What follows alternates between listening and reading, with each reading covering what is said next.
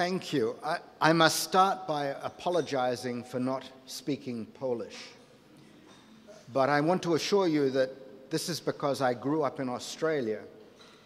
And there, the tallest mountain is named after one of your great men.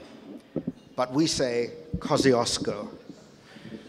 So trying to understand Australian pronunciation of Polish, even if I could speak the language, would be too much. Okay, so I must confess I was rather amazed to be asked to talk about the soul, since this is something I have not talked about before, as you will now discover. But in fact, it reminded me of the question, reminded me of the last time I was in Krakow and uh, it was to attend a little meeting in Pasierbiec, uh, where our host was Michael Heller, the founder of the Copernicus Center. And what had happened was that a group of um, people who were trying to bridge between Christianity and science had been holding a series of meetings, and they decided it was time they discussed the brain and they asked me to be their brain expert in inviting a number of other people to come together. And I assumed that if there was going to be a meeting on religion and the brain, the debate would be between neuroscientists who were monists, who saw the, the mind or the soul as just something the brain does, and the religious people who saw the soul or the mind as separate. They were dualists. And so I discussed this matter with Nancey Murphy, the lady you see at the right there, who was one of the original organizers. And she said, No, no, we are all monists. I don't know whether this applied to Michael Heller, but it applied to the Americans on the group who said, We believe in the resurrection of the body. And so, in some sense, this theme of does one think of the soul as something apart from the brain, apart from the body, or does one think of the soul as a property, something the brain does or possesses, is really what's going to be, I think, driving our discussion today. Well, this is a, a Copernicus festival, and so I thought it would be good to start by honoring the spirit of Copernicus. And it's somewhat interesting to note that in English, the word spirit and the word soul are very similar.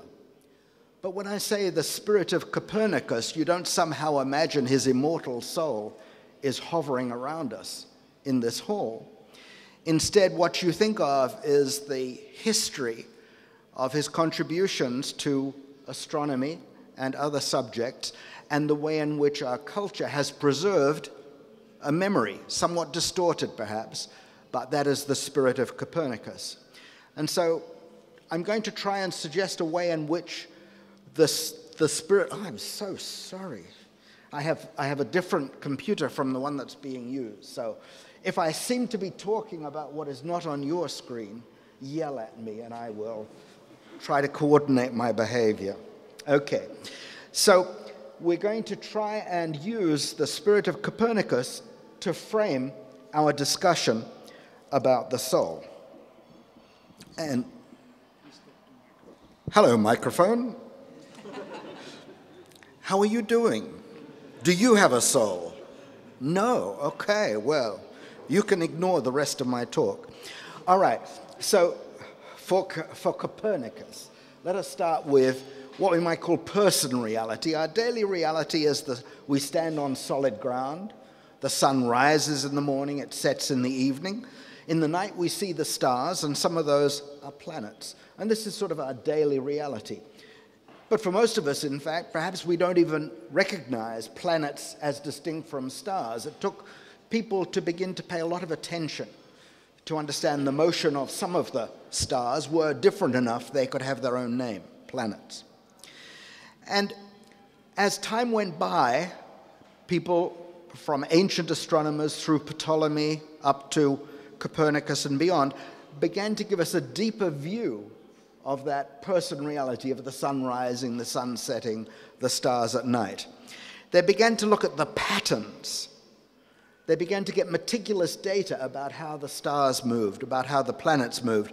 And then, with mathematics or other formulas, they began to go deeper and begin to see patterns which go beyond our common sense. And what emerged was a new scientific reality which gives us an enriched understanding of our daily lives. So, here are just some of the names of the people who contributed to this current understanding Ptolemy many people today say, oh, Ptolemy was wrong. He had this idea about the, the, the, the, the sun moving around the earth. All I can say, if I could come up with a paper or a book that would be quoted as the scientific standard for 1400 years, I would consider myself a successful scientist because if you look at the dates, it's 1400 years later that Copernicus introduces his story. And if, I'm, if I remember correctly, I'm not an expert here, but if I remember correctly, in fact, his initial trajectories were less accurate than those given by Ptolemy's formulas. And it took about 100 years until, through the work of people including Galileo and Kepler, we finally had the accurate charting of the motion of the planets. Oh, I'm doing it again, am I? Oh, some people are just not very reliable. By, by the end of the talk, I'm sure I shall be only two slides out. Okay. So, see, it just shows you don't need the slides, just listen. Okay. So, what I want to do with these dates, that 1400 years of a rather stable view with new refinements, Copernicus giving us a new framework, Galileo and Kepler beginning to make it numerically accurate, and then another hundred years, Newton putting this on a beautifully structured mathematical footing. What I want to say as background for the, the theme I will develop is this notion that science is not something that claims to have the ultimate answer. It's trying to understand more and to understand it in more detail. And so today we have this very sophisticated understanding of planetary motion, of the stars, and so on. And just this month or last month, the accumulation of, of hundreds more years of, of technology and science and prediction and mathematics allowed the first discovery of a planet that could be Earth like in terms of its size and its movement in the habitable zone. So I, I, want to give you this framework from Copernicus and those people who preceded and followed him of the way of science as a cumulative enterprise where slowly we understand more and more. And then this new understanding, part of it is too technical for most of us to understand, and yet part of it becomes part of our understanding of ourselves, our world, our universe. So let's look at our second slice of person reality, the one that brings us to today's theme. And that is that there is a me, and I talk of my body as if it belonged to me. There is a you and a you and a you. And we wake during the day, we sleep at night, we awake the next morning. We observe and talk about similar patterns in others. And so this leads us, as part of our person reality, our folk psychology, if you like, to seek to understand that something other, which perhaps we call the mind or the will or the soul, which somehow is, it seems to us as ordinary people, is entwined with the body and yet not part of the body. And even more strangely, it seems to vanish at night or escape into dreams, and yet it comes back at the dawn. And so, extrapolating from that, a sort of inductive inference, many people come to believe that, well, we sleep perchance to dream, maybe we can awake from that dream of death, and the soul becomes immortal. So, what I'm going to do next is just look briefly at Greek philosophy and different religious views, my authority being sources on the web, of course, and look at the diversity of ways in which different cultures have taken that person reality I've just described and tried to create a sort of folk psychology, a theory of the soul. And its diversity will be part of our challenge as we go forward to try and link it to neuroscience. So, in 2,500 years ago, the Greeks thought of the soul as the source or bearer of moral qualities, engaging in thinking and planning. And now, if we go to Socrates in Plato's Phaedo, or the somewhat different theory that Plato advanced in the Republic, we talk of the non rational soul or the body, including things like emotion, desire, even the pleasure in learning, beliefs, and so on. And an interesting comment of this uh, scholar whose work I was consulting on the web, Hendrik Lorenz, he said a problem with the theory of the Phaedo, or the Phaedo, who was Socrates' dog, Phaedo, the, Phi- oh, sorry. the Phaedo's theory fails to do justice to the unity of the mind.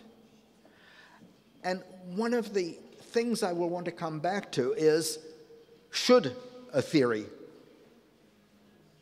accept the notion of the unity of the mind? I, in fact, will be arguing there is no unity of the mind. And that will be part of the way I will be suggesting our deeper scientific analysis changes something of our intuition about ourselves, our souls. So, uh, in the Republic, we begin to see people lead their lives differently, and part of that is related to the condition of their soul in terms of the virtues the soul possesses, such as justice, wisdom, courage, and prudence. Now, what about religious views? There, there are so many different religions, but um, let's just take a few. In Judaism, the quality of one's soul is related to one's performance in mitzvot and reaching higher levels of understanding and thus closeness to God. So here we have, we begin to go beyond the notion of the, the soul as something just associated with the individual, but something that relates the individual to God. And so we lay the basis for different Christian traditions. And in fact, here we come back to that motivation from my discussion with Nancey Murphy that in the Roman Catholic Church, the soul is seen as spiritual and immortal and created by God. And all souls, living and dead, will, will remain forever to be judged by Jesus Christ when he comes back to earth.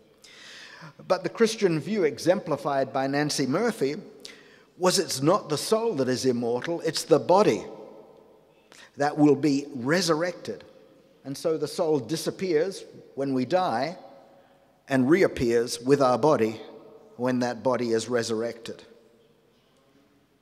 I confess I'm going to have trouble with both these views, but let's leave that aside for the moment. We get very different traditions as we turn to the East, to India and beyond.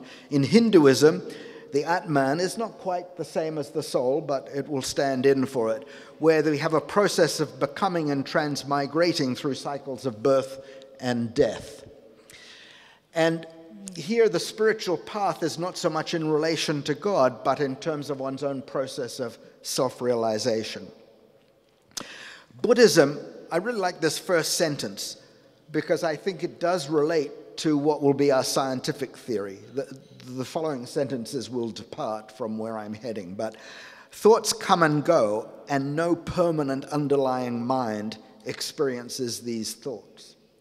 I think you all know the statement of Heraclitus, who said, We never step in the same river twice. But I think I would like us to rephrase that as the same us never steps in the river twice. That each time we come back to the river, our experience has changed us. We approach the river as, in some sense, a new person, though sharing many memories with that earlier person.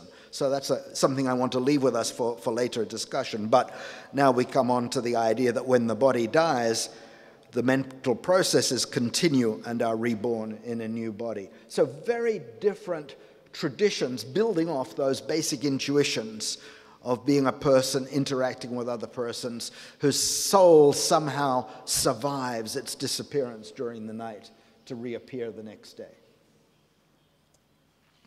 Now, My strategy is going to be to see what aspects of the soul that we've just discussed can be uh, experienced as experienced during our lifetimes without getting for the moment into the issue of what happens to the soul after death. But to what extent our understanding of the brain neuroscience can begin to illuminate this. And then we can look at to what extent this neuroscience based approach can in some sense give us a copernican recentering of our understanding of our reality as persons. And let me just mention that the, this discussion goes back 30 years to the work I did with Mary Hesse, then professor of the history and philosophy of science at Cambridge University. Together, we gave the Gifford Lectures in Natural Theology, where we created a shared epistemology and only disagreed on minor matters like whether or not God exists.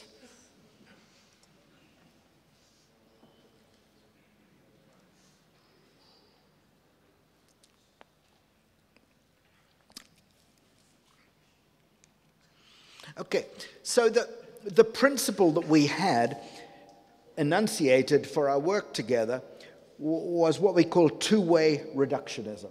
Now, what do I mean by that? For some people, there is an ultimate level of reality, let's say atomic physics, elementary particles, and everything is to be understood by reduction to that. And, but in fact, matter organizes itself into hierarchies. Many of you were here last night to hear John Barrow talk about the, the universe's evolution from a stage at which there was no way matter could organize, it was too hot. And then over eons, planets and suns emerge, and then creatures emerge and objects emerge. And I don't believe there is any way you could predict from what the earth was like a few seconds after the Big Bang. Well, there was no earth, what the universe was like, to this hall and us sitting here. Instead, in some sense, the theory of evolution with Darwin, we can work backwards. We can look at the diversity of creatures and the physical and social environment in which they interact and work backwards to say how can we begin to understand how biological processes can allow matter to act in that way. So the idea is, not, or to take an example for those of you with a little physics, statistical mechanics tries to say how do we average over zillions of atoms and molecules to come up with the properties of gases and liquids and so on. But my contention is that if we hadn't known about gases and liquids to guide our choice of what averages to take and what measures of bulk matter to use, we could not have come up with that reduction. So that's what I mean by a two way reduction. We master different levels of reality, and then we seek theories which bring consistency between our accounts. And so today's conversation is between two realities the reality of each of you sitting here as a person in society, and the reality we're probing in neuroscience, the reality of neurons in brains. And what we will do today is have a little bit of the conversation between these levels to see how each can inform the other. So I think by now, most of you are aware of the techniques of brain imaging and the idea that you can be placed in a rather formidable magnet and asked to do different things, and then very subtle physics and very subtle mathematical and computer analysis will pick up different levels of activity in different parts of the brain. So, so for example, here we have a, a rather amazing young woman with multiple legs, and at times she's just listening to the music, at other times she is moving her legs all of them in time to the music. And, and so we see, for example, some differences, some regions in the brain where there is different activity depending on what she's doing. But this is a very crude level of analysis, so it constrains our attempt to understand the brain. But it's just not detailed enough. And so, with different techniques, neuroscientists can probe the brain at different levels. So, Actually, it's good if I look occasionally at the screen because then I realize what I'm doing. So, looking at the, the cellular arrangements, we can divide the brain into different regions so we can begin to say what do different regions do. And then the anatomist can look under the microscope and begin to see that neurons have very beautiful shapes and very elaborate patterns of connection and can begin to ask, what could that architecture of the brain mean in allowing different parts of the brain to do different things? And then we can go down and look at the electrical interaction of neurons, or under the light microscope, sorry, the electron microscope, we can begin to see that even a synapse, the tiny connection, a typical neuron might have 10,000 connections with other neurons. But under the electron microscope, we can see that individual synapse and see the, the, the various structures and begin to understand how chemical interactions can take place. And then with the tools of molecular biology and genetics, we can come in, and this is just one piece of a, what is called a Purkinje cell in the cerebellum, two synapses, and just identifying something like 20 different molecules, types of molecule involved in the function of those synapses, both how do they react to current patterns of activity and how do they change the properties of the synapse over time.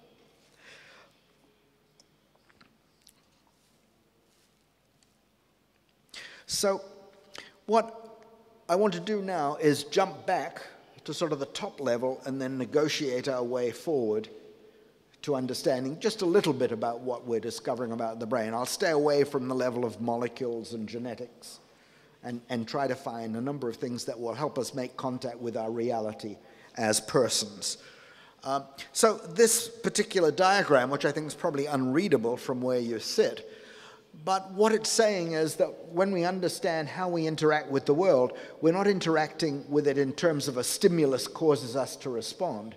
We already have plans, goals, desires. We are looking around the world seeking stimulation, finding information that we attend to that we think will help us with what we want to do. And so we have an action perception cycle. We act both to change the world and to learn about the world. And as a result, our perceptions change, our plans change, our actions change. And so this is the action perception cycle. And what I'm adding here is that it's a learning cycle too, our, our, sort of new Heraclitus quote. It's not the same us who steps in the river each time. As our synapses are mediating the patterns of activity between our neurons that allow us to perceive and act, those same neurons are changing. So we talk about neural plasticity. We learn, and now as we learn in the future, we have new memories we can call upon.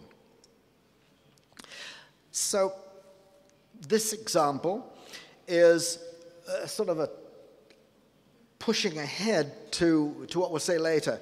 Again, what I'll be doing in much of this is not trying to explain the details of the slides, but rather to just use them as little mnemonics for points I want to make. And so, what I want you to notice here is that we've diagrammed many different brain regions with many connections between them, but there's a region called the striatum sitting in the center. And really, the slogan is that reward processing in the brain there's a central role for the striatum. So I just want you to remember that. Some of you know the, the name as part of the basal ganglia. And some of you know about the basal ganglia as a place that has trouble uh, with lack of dopamine, that the result is Parkinson's disease.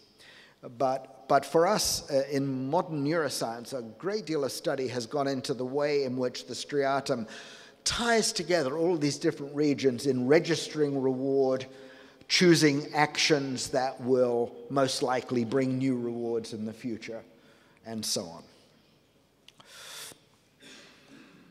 Now, in the next slide, it will help us think a little bit more about the brain, but it will also begin to get across the sense that once we understand the brain, we see the mind is not this unitary object perhaps we thought it was. So uh, I imagine a number of you have been fans of Oliver Sacks and have read books like The Man Who Mistook His Wife for a Hat something I personally would never do. Nor would I mistake a hat for a wife. But the point about Oliver Sacks is that he gives us vivid stories. I would not say he's doing neuroscience, rather, he is using neurology to give us insight into how complicated a place the brain is and how subtle it is that most of the time our brains seem to work to allow us to have this illusion of a single mind interacting with those about us. So, in this particular story, um, we, I, I've just given you a little sketch of the human brain here to sort of give us the axes. So, the visual system, the, the uh, information from the eyes hits the cortex back here, and it can go th- both go up here along what we call the dorsal route. Think of the dorsal fin of a shark, or it can go down here by what's called the ventral route. And a very interesting thing, very unfortunate for the woman it happened to, but a woman had a lesion of her brain which destroyed this route. And now, if you showed her, let's say, a cylinder and said, Tell me how big is it? She couldn't tell you how big it was, whether it was a centimeter or two centimeters or three centimeters thick. You would say to her, Well, how, why don't you just pantomime? Just show me with your hand.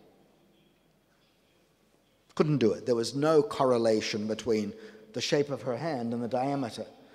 And yet, if you said to her, Pick it up, her hand would shape beautifully to the exact size as she would reach out. So here was one pathway that she'd lost for seeing what the properties of the object were or what the object was, and another pathway that subconsciously could use the visual information to send the right information to the control of the hand.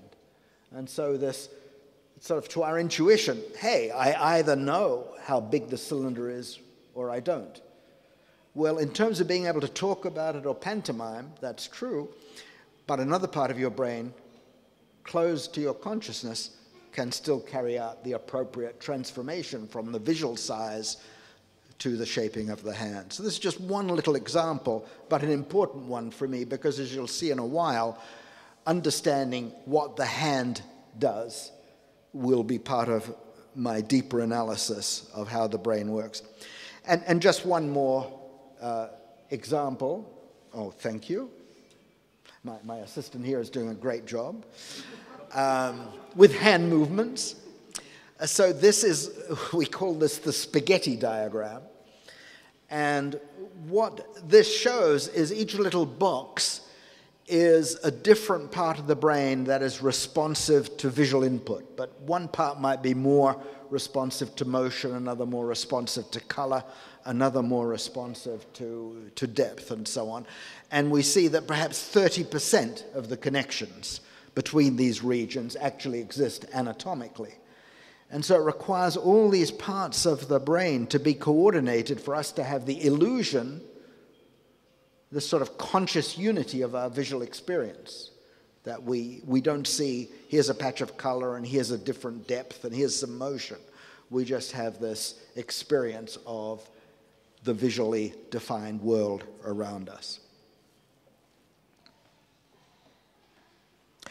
Okay, so now we make a crucial transition.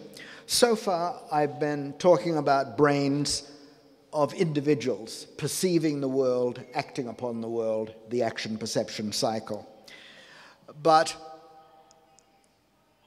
what is crucial about our existence is that we are social beings.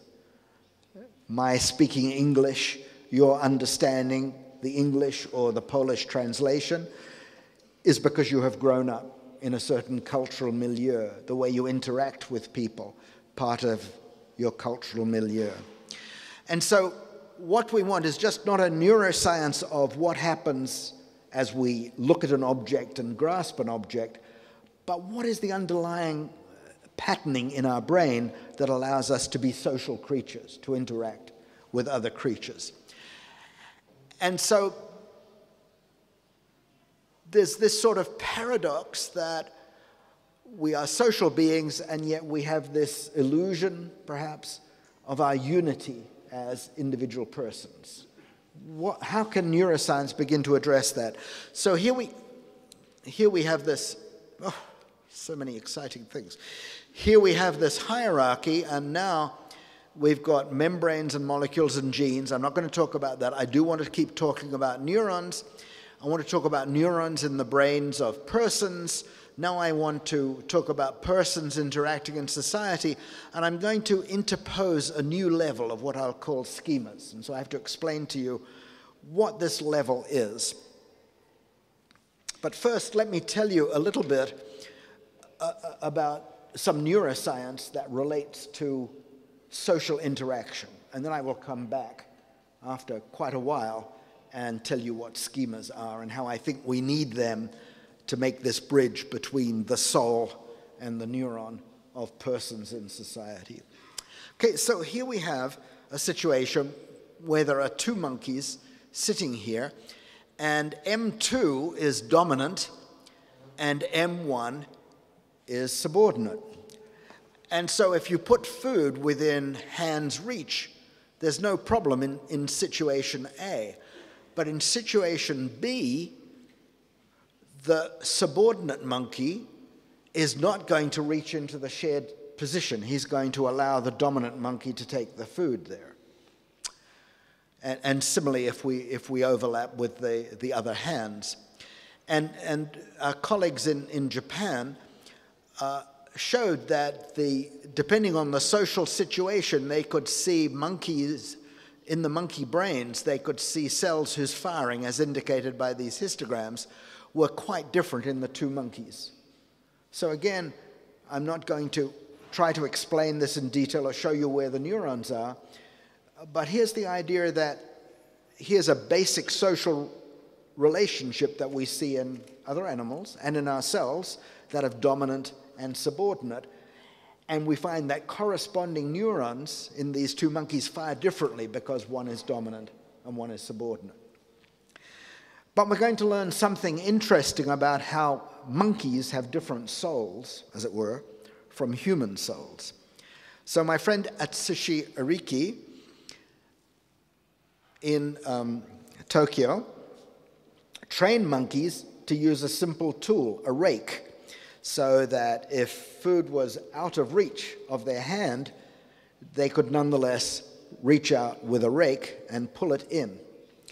And what this diagram is showing is that he discovered cells in parietal cortex that were responsive both for the sense of touch and for the sense of vision, as shown in purple. And so here's a hand cell, a cell that responds to touch inside the hand, and in the monkey before training, you only get response in just the visual area around the hand. But once he has a rake in his hand and has learned how to use the rake, then the whole region in which he can reach the food and bring it towards himself now defines the visual field. So learning has changed the connectivity of the brain so that the, vi- the relevant part of the visual field for that neuron to signal has changed. And similarly, if we go to the area that involves the shoulder, then only the visual area within reach is relevant. But before he uses the tool, it's this circumscribed region. After he's learned to use the tool and has the tool in his hand, this much larger region. So we get this interesting little challenge for neuroscience of what is going on in the brain. How can learning this new skill, using the rake, change the wiring in the brain so that knowing he has the rake in the hand changes the visual properties of that cell? But that's not the challenge I want to take up with you tonight. Instead, a very interesting behavioral study of Iriki and his colleague Fujii. and now we have the situation where both the subordinate monkey and the dominant monkey, oops, both, the, both monkeys have learnt to use the rake. And now the subordinate monkey reaches into this area, even though it's an area that the dominant monkey can reach into. So you, you and I would think of dominant subordinate as sort of a concept that we can apply in new situations. But the monkey is incapable of extending this notion of dominant subordinate to this new spatial structure. So, as, as Iriki and Fujii put it, monkeys lack the ability to imagine the environment from another's point of view. And Tullius created an ethologically novel condition of social conflict that the monkey's adaptive neural system was ill equipped to deal with. And so, the sort of theme this introduces is that, on the one hand, it's very useful for us to study monkeys because, in many ways, they're similar to us. And with them, we can get in and study the behavior of single cells and the circuits that bring them together and really get a deep feeling for the neural basis of action and perception. On the other hand, monkeys are different from us. And so, one of my efforts in recent years has been to try and understand the way in which we are most different from other creatures, including monkeys. Namely, we have language and no other creature does.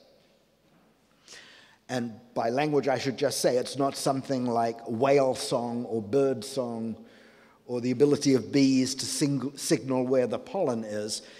It's the ability to have a rich vocabulary and put those words together using a grammar to express meanings and expect those meanings to be understood, even though the listener has never heard that meaning before, which is what I hope I am succeeding with tonight.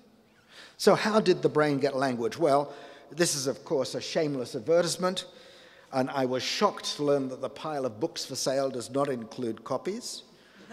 so, please complain to the management afterwards, or go to whatever the Polish for Amazon is, probably amazon.pl, but whatever. Uh, anyway, I'm going to give you the book in six slides, so maybe you'll decide you don't need to buy the book after all. So, the starting point is this notion of a mirror neuron. So, here we have a cartoon of the monkey brain. There's that visual cortex at the back. In the front part of the brain, and my colleagues have numbered areas F1, F2, and F5. They placed electrodes, and initially they found that electrodes placed in that brain were specifically tuned for particular hand action. So one neuron might be most responsive for a precision pinch, another might be more interested in a power grasp. And so for different hand actions, there will be different neurons that were maximally responsive. But then they discovered that a subset of those neurons had an additional property that they would fire not only when the monkey carried out the action himself, but when he saw other primates, in this case the human experimenters, some of their faces are shown here, carrying out the action. So here we see the monkey himself carrying out a precision pinch. Here we see the firing of a specific neuron on 10 different occasions. Here we see the histogram that says this is something the neuron gets really excited about. And here we see the monkey is watching Leo Fogassi doing the same action and is not quite as excited, but there's a lot of firing. And so this neuron is called a mirror neuron, a neuron that fires both when the monkey carries out an action and when the monkey sees someone else carry out a somewhat similar action. And so this is where the story of how the brain got language starts. Now, to build up to that story, I have to tell you about humans. We, we saw a while ago that amazing dancing lady with the many legs, and we talked about the way that with modern brain imaging, we can't see anything like what neurons are doing. We can sort of see the average activity of many millions of neurons as somewhat more active in task A than task B. So here is a study of the human brain which suggested not that there are mirror neurons, we're not recording single neurons, but rather there are parts of the brain that light up both for doing something and for observing something. And this particular study was in the realm of, dis- of emotion, and in particular, disgust. So you either showed the subject something really disgusting, and saw how their brain lit up, or you showed them the face of somebody being really disgusted and see how their brain lit up. And it's a little hard to see, but there are red dots, blue dots, and white dots. And the red dots are where the, um, where the, the person was smelling the disgusting thing, somewhat less in the way of blue dots for when you recognize somebody was being disgusted. And then the white dots are the overlap. So the sort of a mirror system for disgust of where your brain was somehow tying together what is involved in being disgusted and what is involved in recognizing disgust. So what we're seeing is that the suggestion is that mirror neurons play some role in connecting us socially so that we can recognize the actions and emotions of others using a brain system that overlaps our performance of those actions.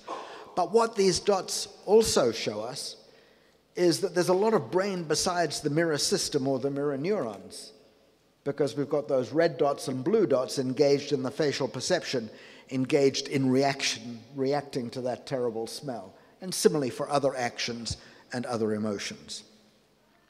So let's just look at one more study of the humans before we move on with all of two slides, I think, on how the brain got language. So this is a pretty busy slide, but what you're seeing here is a little video clip of a dog biting, a monkey biting, and a human biting. And over here, you're seeing a, a little video clip without sound of a human talking, a, a monkey making uh, oral communicative gestures and a dog barking. And this little blue circle in each case is trying to highlight activity in the mirror system. And what we're seeing is that for biting, pretty much the same activity occurs whether we're seeing the human, the monkey, or the dog bite. But if we look over here and look at oral communicative gestures, we see a pretty good activity, the bright reddish yellowish for the human, a little bit of activity for the monkey, and no activity for the buck. So, what Buccino et al., from, again from Parma in Italy, said actions belonging to the observer's motor repertoire are mapped on the observer's motor system. But what I want to add to their story, of course, is you don't have any trouble in recognizing the barking. So, again, the, it's not that the mirror system takes over the complete act of interacting with the world, but that it's a crucial part in relating our own actions to the actions of others, our own emotions to the actions of others, but much more is involved. Okay, so now this is, as we say, where the story really starts. And I'm told it has to end fairly soon, but. Okay, so if we, so what I showed, this is not to scale, but here is a, a, monkey brain at the left, a human brain at the right, and here's that area F5 where our Italian friends found the, the mirror neurons for hand actions. And here is what is called Broca's area, that is traditionally thought of as an area for the control of speech. And now it, it turns out that these areas seem to be homologous. In other words, if you try to look at what you think through evolution of the corresponding regions of the monkey and the human brain, then F5 here does seem to correspond to part of Broca's area. And moreover, if you do more of those brain imaging studies and say what part of the area in the human brain seems to light up both for hand actions and for observing hand actions, then we get mirror activation in or near Broca's area. Now, that poses, of course, the question what should a mirror system for grasping have to do with an area for the production of speech? Well, fortunately, I had the privilege of knowing this lady, Ursula Bellugi, who works at the Salk Institute in La Jolla in California, and she and her husband had carried out the first linguistic analysis of American Sign Language, and then had followed this up by tracking down people with brain damage who were signers of sign language, and discovering that you got similar impairments of sign language when Broca's area was damaged in a signing person as you would get of spoken language in a speaking person. And so then we had the illumination that, okay, uh, so Broca's area is not an area for speech, it's an area for language. And more profoundly, it's not just for production of speech, but it's for binding both the production and the perception of language more generally together. And so that led to an evolutionary hypothesis that maybe the path from our distant ancestor 25 million years ago that we share with the monkey on through our ancestor of 7 million years ago we share with the, the ape to today didn't go directly through the vocal process, but rather went through more and more subtle patterns of gestural communication. So now let me sum the whole story up in two slides. So the suggestion is that um, if we go back 25 million years ago, our ancestors had a mirror system for grasping. And by the time we get to five or seven million years ago, we share with the apes and these common ancestors a simple but, but very useful ability to imitate. So if we look at different groups of apes in Africa, we find they have a few skills, like how to use stones to crack nuts, which may be present in one group in one part of Africa, but not in another part. So there's a culture where each culture, chimpanzee culture, just has a few elements to it, but simple imitation supports that. And then the claim is that in the following several million years, we got a more and more complex, sophisticated ability to imitate that was valuable because it allowed us to, to pass on more and more complex skills till finally we get to stone tool making, for example. And my, my claim is that once we had the ability to analyze other people's actions as they acted upon objects, then certain changes in the brain allowed us to go from how do we act upon an actual object to how do we recognize the pantomime of an action in the absence of an object. So let me give my standard example. This is audience participation. If I do this, what am I pantomiming? Bird? Flying? Turn up the air conditioning? so, the, the good news about the ability to pantomime is suddenly you have an open semantics. You can communicate many, many things that are not captured by the little set of vocal calls or even the somewhat bigger set of gestures that we share with other primates. But it can be expensive, it takes a lot of energy to do this, and it's ambiguous. So the claim is that the next development in our evolution was that our brains gained a more social aspect of allowing us to conventionalize, ritualize, simplify, and disambiguate. So here's an example from modern sign language. It's not uh, a claim this is what happened in our distant past, but for example, I have a very bad accent in American Sign Language, but the idea is this hand shape sort of suggests an aeroplane, and in modern ASL, if I do this, it means flying, and if I do this, it means aeroplane. So that the difference between these two signs is conventional. If you didn't know the society, you might not know this means the aeroplane, this means flying rather than the other way around.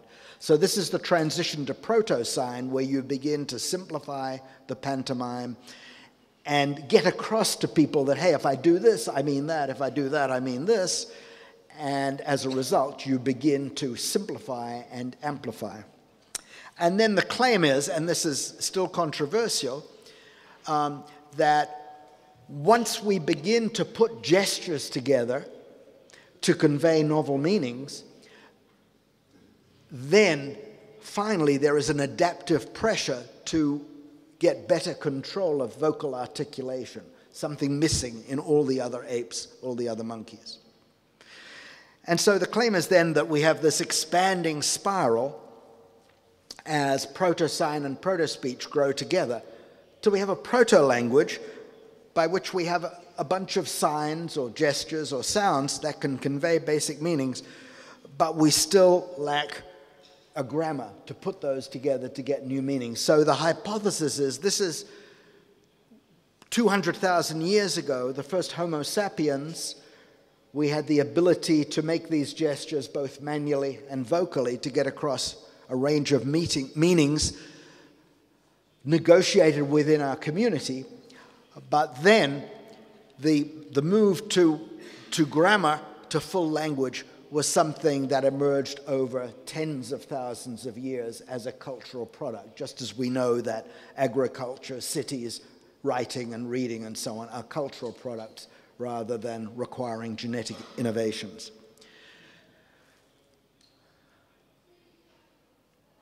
Okay, now, I'm so sorry, but be patient. You'll just have to wait a little while for the discussion because I really have to get through this. Okay, so what I've, I started before by saying the, the, the big function today would be this two way conversation between the reality of persons in society and the reality of neurons in brains. And I want to just briefly talk about the idea of schemas as providing a bridging reality. Now, let me illustrate this by showing you this picture, which is clearly, um, you analyze it, there's a sky, there's a castle, there's a mountain, so there's a castle on top of a mountain against the sky. Except, as some of you recognize, this is from a painting by Magritte. Uh oh. Now, in this case, Magritte wants you to be uncomfortable, right? So there is no consistent interpretation. You look down below, there is a boulder crashing into the waves. You look up the top, there is a chateau in the mountains. But normally, what is happening as you look around, there are many different interpretations. So you have perceptual schemas that try to make sense of different parts of your environment, and then some compete. They're not compatible with each other. Some cooperate, they fit together, such as the castle on top of the mountain. And so normally we can end up with a consistent interpretation. And similarly, we have in a particular situation, what will we do next? There are possibilities. Some possibilities go together with our perceptual interpretation, others compete with it. So the idea is this level of ideas, percepts, actions is the intermediate between our overall self interacting with other persons and what our neurons do. And so I suggest that to succeed for a social neuroscience, we have to understand how our psychology can be brought down to the level of schemas, and then how schemas can be understood at the level of brain. So, in some sense, pure schema theory is a version of psychology. We try to say, how do we break down our human behaviors into pieces whose dynamic interaction explains what we do? But then underneath that, we'll talk of neural schema theory, which says, okay, that's a hypothesis, but is it consistent with those data on how the brain breaks down under certain types of lesions? And then going up with Mary Hesse, we go to social schema theory, the idea of how is it that those schemas in our head reflect the society around us. And so, as I've already hinted, one example of going from a social schema to schemas in our individual heads is how, as we learn a language, we're learning to associate words with meanings. We're learning how to put those words together using the grammar for the language. And so, in the end, that social experience of communication is reflected in new structures in our brain, the schemas for words, for grammar, but those in turn only get there because the synapses are being changed, our brain is being rewired. So, Almost there, I promise. Well, I don't actually. I'm trying to fool you. I'm letting you into a false sense of security, but I will stop eventually. The self as schema encyclopedia. What I want to get across is if we think about these schemas, depending on different situations, we play different roles. So, for example, I'm a husband, a father, a professor, a tourist, a theater goer. Depending on whether I'm at home or in public or in different settings, I will behave completely differently. So,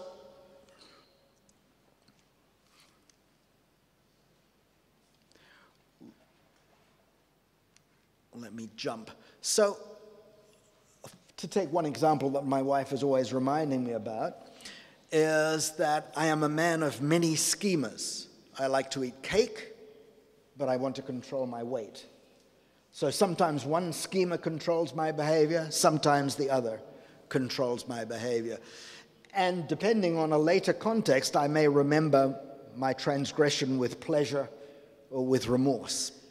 So, this idea of that we are a multitude of, of schemas in some sense to constitute our mind or our soul, I think is very important.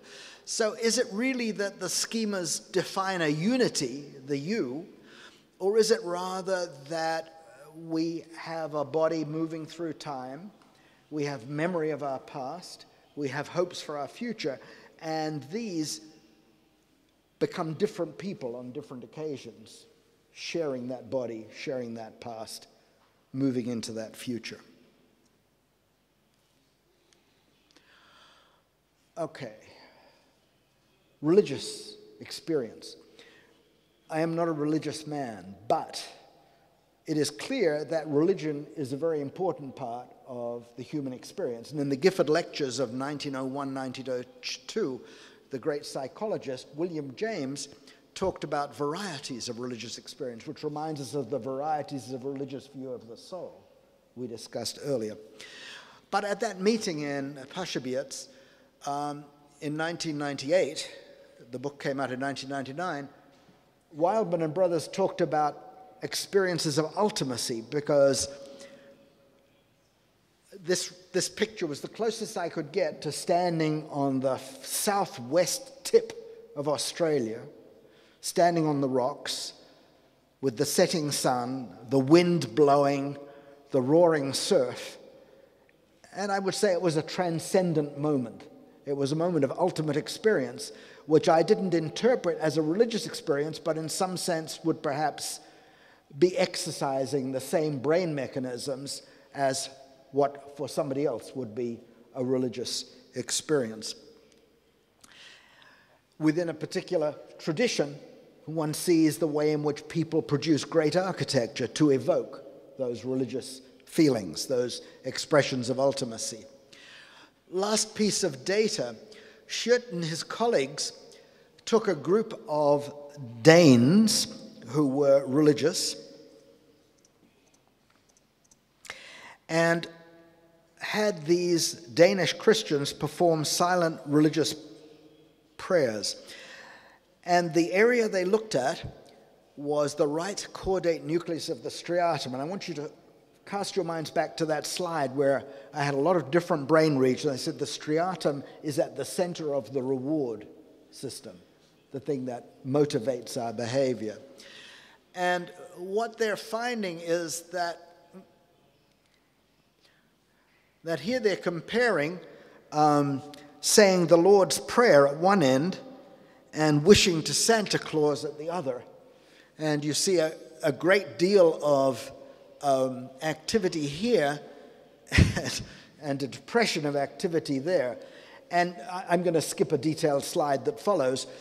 But what they did was they related it to other studies in a totally non religious setting which were looking at brain correlates of interpersonal trust.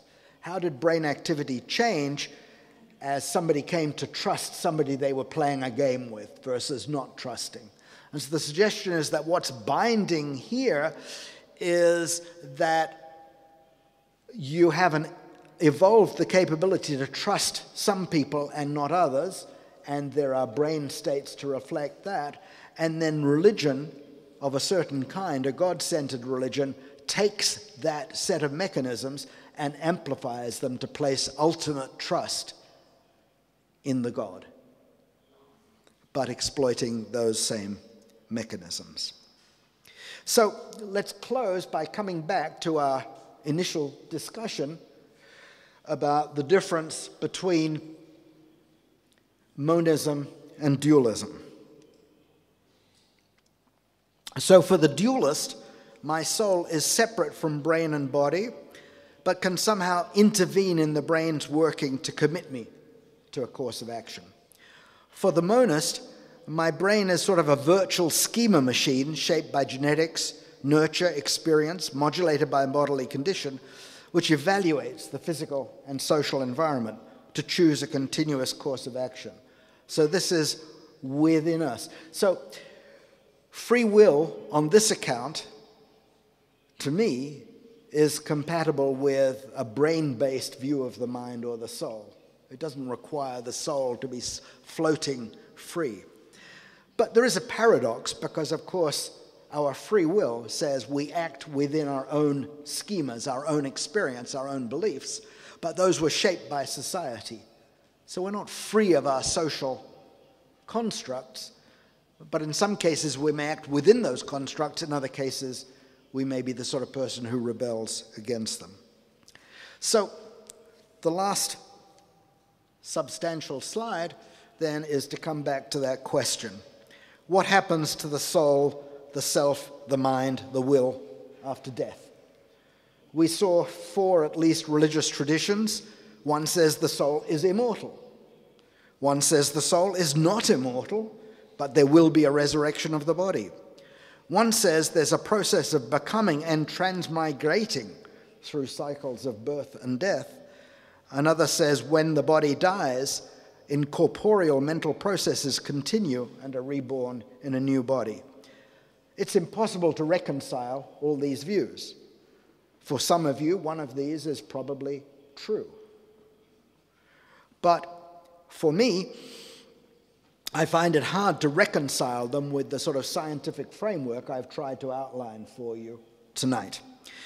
And, and so, to come back to our title, we all agree that your soul will be remembered, just as the spirit of Copernicus is remembered, more or less accurately for more or less time after you die through memories embodied in the brains and other records of others. The neuroscience hypothesis that I believe in is this is the only way in which any aspects of the individual soul survives death. And so to conclude then, your claim, my claim is your soul is a distributed property of the brains of yourself and others. But if you recall my history of astronomy, of the centuries it took to get a deeper and deeper understanding of the motion of planets around suns, so I believe that we are in for a, perhaps centuries of progress in social cognitive neuroscience if we are to build a neuroscience of the person and get that deep understanding we have of astronomy that allows us to reconcile with our understanding of our daily lives. Thank you very much.